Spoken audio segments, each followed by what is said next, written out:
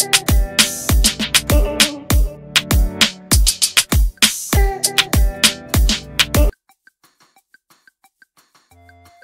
รษฐาขนมา 30 ผืนพันผ้าขาวม้า โชว์ต่างชาติลั่นคนสนใจมากขึ้น ช่วยเพิ่มมูลค่าเศรษฐาหอบผ้าขาวม้ามา 30 กว่าผืนเลือกให้เข้ากับชุดสูตรแต่ละวัน หวังต่างชาติหันมาสนใจใช้ผ้าขาวม้ามากขึ้น เพิ่มมูลค่าสินค้า เผยเป็นความสุขที่ทำให้ประชาชนได้ เมื่อเวลา 11 นาฬิกา วันที่ 11 มีนาคม 2567 ตามเวลาท้องถิ่นกรุงปารีสประเทศฝรั่งเศส ซึ่งช้ากว่าประเทศไทย 6 ชั่วโมง นายเศรษฐาทวีสินนายกรัฐมนตรีและรัฐมนตรีว่าการกระทรวงคลังให้สัมภาษณ์ถึงการใช้ผ้าขาวม้าเป็นผ้าพันคอ ในช่วงเดินสายต่างประเทศว่ามีต่างชาติให้ความสนใจในผ้าขาวม้าไทย เช่นกัน แต่เวลาเข้าที่ประชุมตนจะถอดออกเพื่อไม่เป็นการจงใจโปรโมทจนเกินไป เพราะในที่ประชุมก็ร้อนแล้ววันนี้ลายพิเศษที่ใส่มาคือสีแดง น้ำเงิน ขาวเป็นลายสีธงชาติไทยและธงชาติฝรั่งเศสด้วย จากจังหวัดนครพนมพยายามเลือกให้เข้ากับชุด แต่ไม่ได้ไปซื้อมาจากที่ไหนเป็นผ้าที่ประชาชนมอบให้ระหว่างการลงพื้นที่ การเดินทางเยือนต่างประเทศครั้งนี้ เตรียมมากว่า 30 ผืนเพื่อเลือกให้เข้ากับชุดสูทที่ใส่ และเหมาะกับสถานการณ์ในแต่ละวัน นายกรัฐมนตรีกล่าวเชื่อมั่นว่าในช่วงนี้จะจบฤดูหนาวในต่างประเทศแล้วเข้าสู่ช่วงสปริง อุณหภูมิ 10-15 องศา ซึ่งใช้ผ้าพันคอเป็นหนังสัตว์อาจจะหนาเกินไป สามารถใช้ผ้าขาวม้าที่ประเทศไทยขายหนึ่งผืนมีราคาถูก สามารถจุดกระแสได้เช่นกัน หวังว่าจะเป็นแรงบันดาลใจให้กับผู้บริโภคที่อาจจะเอามาใช้ ซึ่งผ้าขาวม้ามีหลากหลาย ราคาถูกส่วนตัวอยากให้ราคาสูงขึ้น หากมีคนหันมาใช้ผ้าขาวม้ามากขึ้น ก็เป็นความสุขหนึ่งของตนเองที่ทำให้กับประชาชนได้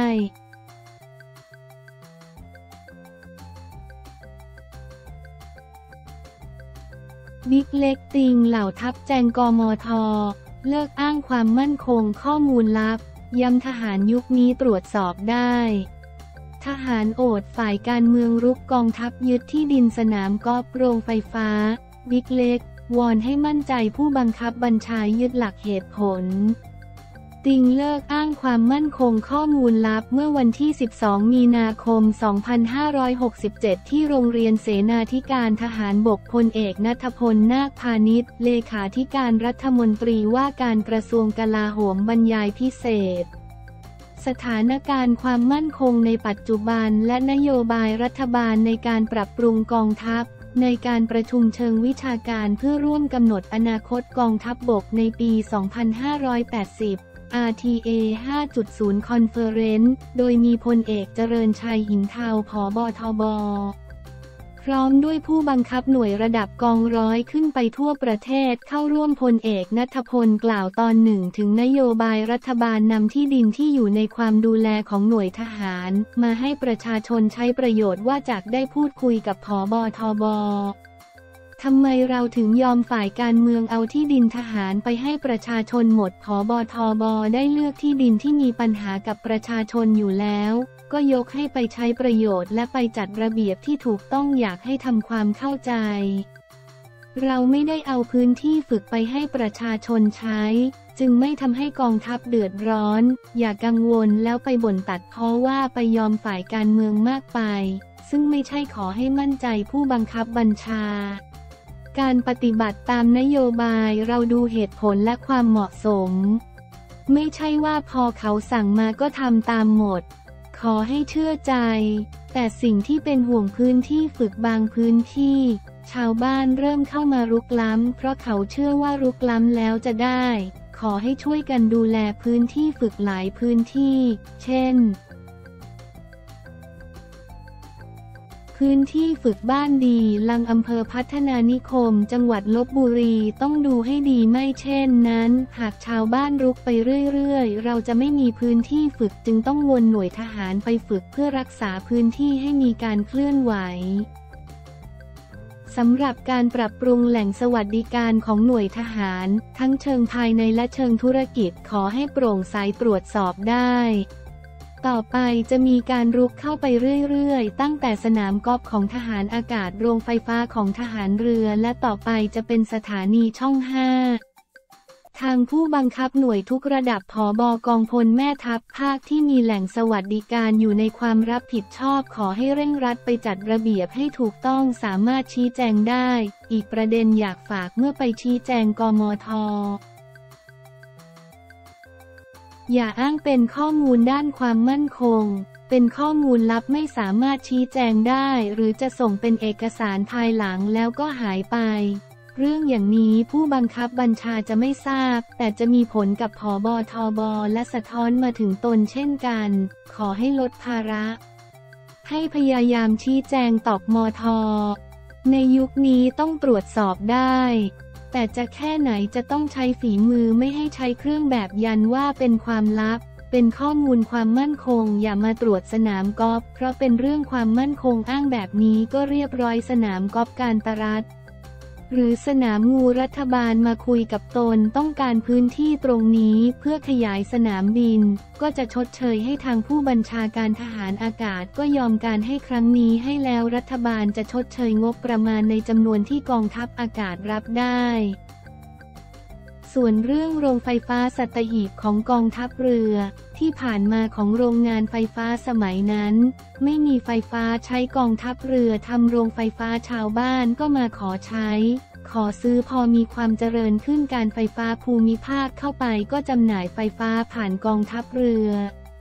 จนกลายเป็นว่าปัจจุบันประชาชนในพื้นที่สัตหีบซื้อไฟฟ้าของไฟฟ้าภูมิภาคผ่านกองทัพเรือ อันนี้การเมืองมองว่าเป็นหน้าที่อะไรของกองทัพเรือ แต่เขาไม่พูดถึงในรายละเอียด ซึ่งเหตุผลมันมีทั้งสองฝ่าย จึงคุยกับผอบอทอรอว่าส่วนของกองทัพเรือเองก็เก็บเอาไว้ แต่ในส่วนที่ไม่ใช่โอนให้กับการไฟฟ้าภูมิภาค หากการไฟฟ้าส่วนภูมิภาคก็ไม่พร้อมรับเช่นกัน แต่กองทัพเรือต้องแสดงเจตนาไปก่อน น้องๆรู้สึกว่าทหารโดนรุก ทำไมผู้บังคับบัญชาถึงยอมอยากให้พิจารณาในความไม่เหมาะสม เช่น โรงแรมแอมบาสเดอร์สวนนงนุชซื้อไฟฟ้าจากกองทัพเรือคิดว่าใช่หรือไม่พลเอกนัทพลกล่าว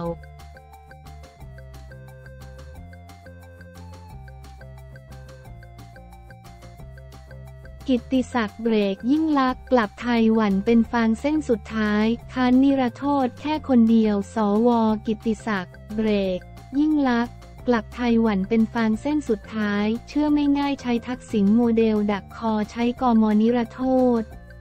ลั่นหากทำต้องล้างมนทินทั้งประเทศ เมื่อเวลา 10 นาฬิกา วันที่ 11 มีนาคม 2567 ที่รัฐสภานายกิติศักดิ์รัตนวราหะสว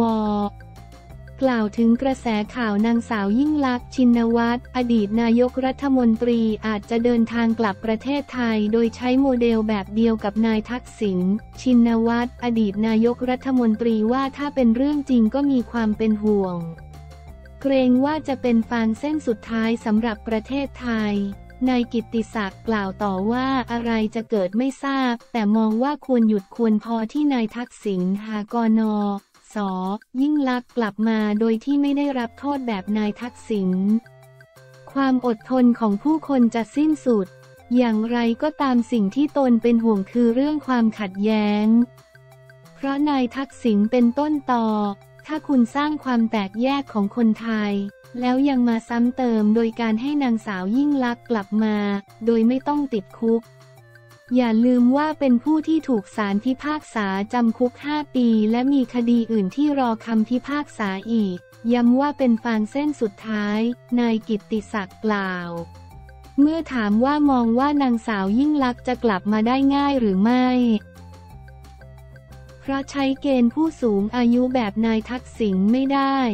นายกิติศักดิ์กล่าวว่าคิดว่าไม่ง่ายนายทักษิณยังพอกล้อมแกล้มเอาสีข้างถูไปได้ แต่กับบน สอ ยิ่งลักษ์ยังมองไม่ออกว่าจะใช้เหตุผลอะไรในการไม่ติดคุกนายกิตติศักดิ์กล่าวต่อว่าส่วนหากมีการใช้ช่องทางกฎหมายนิรโทษกรรม ขอถามกลับว่าพักไหนจะทำอย่าลืมเหตุการณ์เมื่อปี 57 ที่เรียกว่านิรโทษกรรมสุดซอย ดังนั้นคิดว่าเรื่องนี้ไม่ใช่หลักของกฎหมาย ไม่เช่นนั้นต่อไป หากใครไปฆ่าคนหรือค้ายาบ้าก็นิรโทษกรรมให้หมด ขนาดคนทำผิดกฎหมายเล็กน้อย ติดคุก 3-6 เดือนก็ยังติดจริง ถ้าจะนิรโทษนักการเมืองหรืออดีตนายกรัฐมนตรี ที่ศาลตัดสินว่าผิดแล้วเอาทั้งหมดเลยไหม คมเสนอให้ประเทศไทยล้างมลทินให้หมดสองแสนกว่าคนทั้งนักโทษแท้บ้างจริงบ้าง ผมจะยกให้อย่างใจจริง แต่ถ้านิรโทษให้คนเดียวไม่เห็นด้วยเด็ดขาด นายกิติศักดิ์กล่าว